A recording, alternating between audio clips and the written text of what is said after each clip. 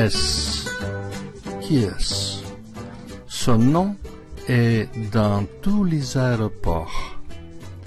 Elle est née à Saumur, France, le 19 août 1883. Elle s'appelle Gabrielle Bonheur.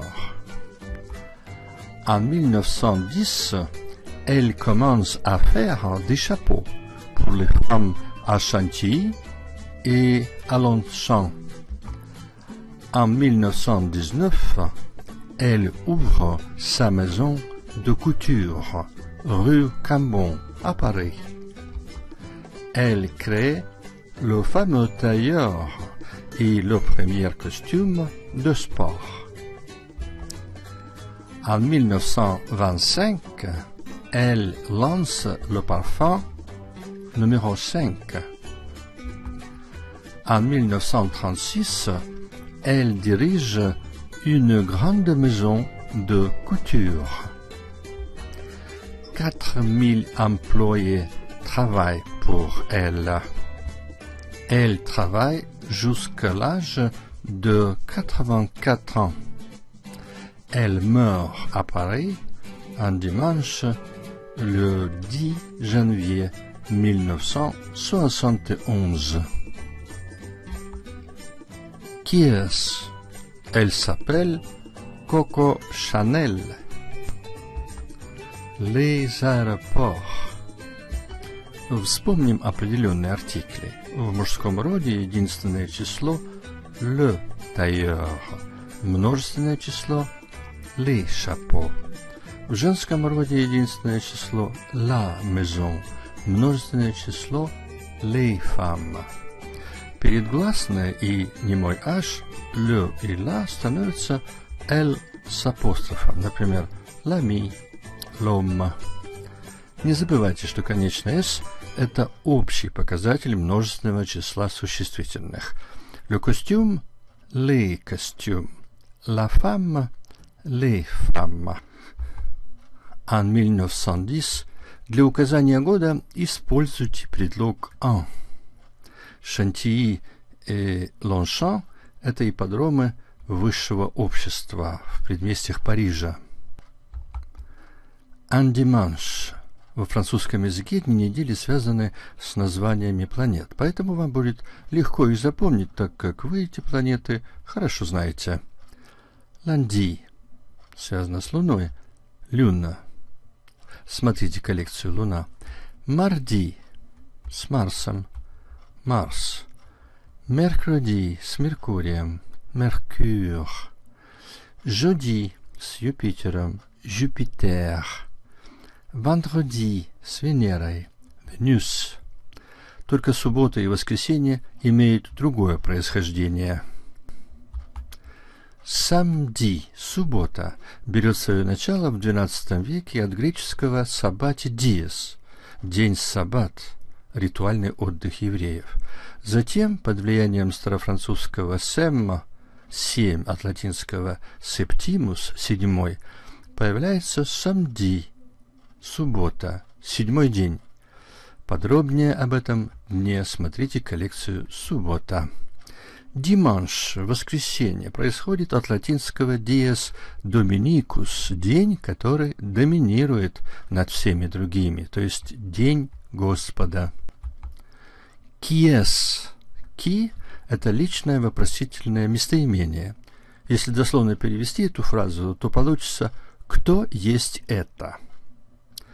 Коко Шанель. Почему Коко? Когда Габриэль было 20 лет, она жила в провинции. В Мулен она пела в кафе-концерт. «Un Боглан» – шумное дымное кафе с сомнительной репутацией. Там она пела песенку, которую публика очень любила. Она называлась «Кика вю коко дан ле тракадеро» что-то типа «Не слышали ли вы про Коко из Тракадера?» Публика, вызывая на бис, обычно кричала «Коко! Коко!». С тех пор это прозвище так и осталось за ней. Поговорим о правилах. Сейчас вы будете учиться представлять женщину, используя личное местоимение единственного числа «эль». Идентите – это данные о личности. В разговорном языке «elle s'appelle comment?» В стандартном языке «comment est-ce s'appelle?» И в официальном языке «comment s'appelle-t-elle?» Обратите внимание, «que» плюс «elle» и «que» плюс «il» переходят в «кель» и «киль». Буква «э» от слова «к» сокращается, а вместо нее ставится апостроф. Смотрите коллекцию апостроф. Поэтому вы можете встретить в тексте «эссе-кель» и «эссе-киль». Французы все делают, чтобы их язык был мелодичным и удобным для произнесения, поэтому в вопросительной форме «сапель» плюс «эль», «сапель» плюс «иль» они добавляют «т» после глагола. Получается «comment s'appelle-t-elle» и «comment s'appelle-t-il». Ответ «elle s'appelle Coco Chanel». Национalité, национальность – Elle est française. Прилагательное française согласуется с местоимением, подлежащим elle.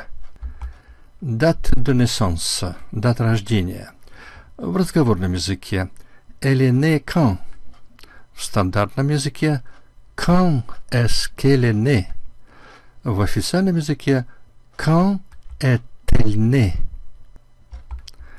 Ответ née le 1908 1883. «Не» — это прилагательное, оно согласуется с подлежащим «эль». Поэтому «эль» — «не» добавляется конечное «э». Обратите внимание на использование артикля «le» для записи даты. «Le 1908» и так далее. «Lieu de naissance» — место рождения — в разговорном языке elle est née où? В стандартном языке où est-ce qu'elle est née? В официальном языке où est-elle née? Ответ. Elle est née en France, à Самура. Профессион, профессия. В стандартном языке. Qu'est-ce qu'elle fait? В официальном языке. Que fait elle Ответ. Elle dirige une maison de couture. Adresse. Адрес. Adresse professionnelle. 29 rue Cambon, Paris 1er. В разговорном языке elle travaille où? В стандартном языке où est-ce qu'elle travaille? И в официальном языке Où travaille-t-elle Ответ. Elle travaille rue Cambon. Немного упражнений. Теперь ваша очередь представлять, но на этот раз мужчину. Назовем его Марк Дюмон. Очень распространенные во Франции и имя, и фамилия, типа нашего Иван Петров. На этот раз вы должны использовать личное местоимение, подлежащее в третьей форме, то есть третье лицо единственного числа. Il. Идентите. Марк Дюмон. Вначале я буду зачитывать начало вопроса, потом будет небольшая пауза, во время которой вы должны самостоятельно ответить, а затем вы увидите правильный ответ. Итак, вопросы. Три формы. Первая форма в разговорном языке. Il s'appelle Il s'appelle comment? В стандартном языке. Comment est-ce qu'il s'appelle? И в официальном языке. Comment s'appelle-t-il? Ответ. Il s'appelle Marc Dumont. Национalité française. Итак, как вы скажете, il или français? Нужно вам напомнить, что la nationalité – это существительное женского рода, поэтому прилагательное française согласуется с ним вроде, несмотря на то, что мы говорим о Марке, о мужчине. Date de naissance 14 novembre 1985. Нужно задать вопрос э, в трех формах по поводу даты рождения. Итак, э, первая форма – это в разговорном языке, как мы скажем. Или не quand. Теперь в стандартном языке. Quand est-ce qu'il est né? И в официальном языке Quand est-il né? А теперь дайте ответ. Il, il est né le 14 novembre 1985. Lieu de naissance. Теперь нужно задать три вопроса по поводу места рождения. В разговорном языке. Est né où? В стандартном языке. Est-ce qu'il est né? И в официальном языке. Où est-il né? А теперь дайте ответ. Il est né à Toulouse. Profession. Informaticien. Нужно задать два вопроса о профессии. Это в стандартном и в официальном языке. Итак, в стандартном языке мы говорим «Qu'est-ce qu'il fait?» И в официальном языке «Que fait-il?» И теперь нужно ответить «Il Il est informaticien. Adresse personnelle 5 rue du Port, Marseille. Нужно использовать глагол habiter – проживать. И так вопрос в трех формах. Первая – это разговорная форма. Il habite où? В стандартном языке – Où est-ce qu'il habite? И в официальном языке говорят, спрашивают вернее, Où habite-t-il? Теперь ответ. Il habite à Marseille. Давайте пробежимся по словам, которые мы встретили в этом уроке. Нерожденный. Вам нужно посмотреть коллекцию «Нация». Аэропорт, аэропорт, коллекция аэропорт. Maison, дом. Couture, шитье. Créer, создавать.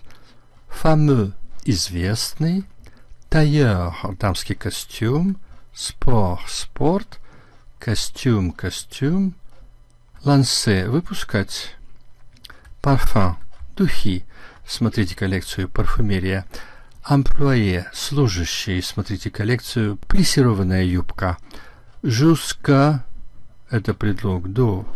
И аж. Это возраст.